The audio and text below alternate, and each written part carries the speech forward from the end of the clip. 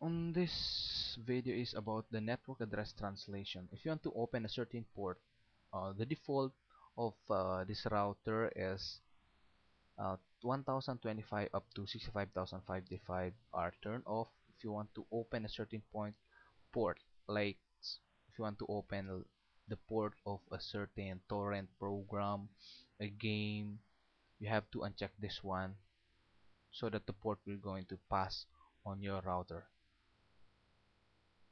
you can set you can see uh, on the what one two three the disable you can block some port that you you don't want to uh, penetrate on your network. You can set you can search for a specific port. Just type google for uh, port port assignment